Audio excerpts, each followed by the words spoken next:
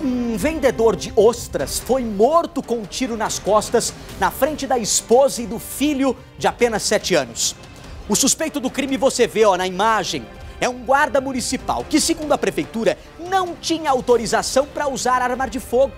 De acordo com a família do Helder, o crime aconteceu após o homem reivindicar iluminação pública para uma quadra de futebol. Após o disparo, o guarda, ó, fugiu. O crime chocou parentes e amigos da vítima que foram às ruas da cidade protestar por justiça. O secretário de Segurança lá da cidade de Itapissuma, em Pernambuco, lamentou o acontecido, afirmando que a arma não pertence à prefeitura e que está apurando os fatos administrativamente. Olha o guarda correndo depois de matar o, jovem. Lamentável, hein?